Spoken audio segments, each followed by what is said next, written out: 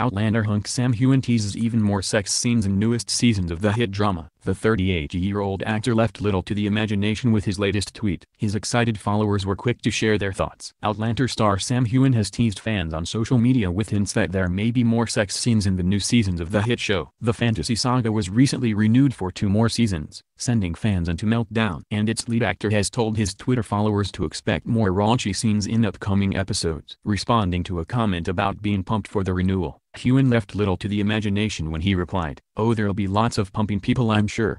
And fans were quick to express their excitement. One said, can you hear that? That's the sound of my heart beating a million beats per second. Another commented, you are too funny Sam before one said, lots and lots of pumping for sure Sam. Dot. One replied, oh my god ooh ooh ooh and here I thought I had the dirty mind. One excited user said, one excited user said, why is it that when Sam says something so, your mind goes somewhere else so dirty? Sexy. I meant sexy. We recently told you how the Outlander hunk became inspired to be TV star after pretending to be Robert the Bruce as a youngster. And a fan of the show left her home in San Francisco to search for her own Jamie Fraser in Scotland.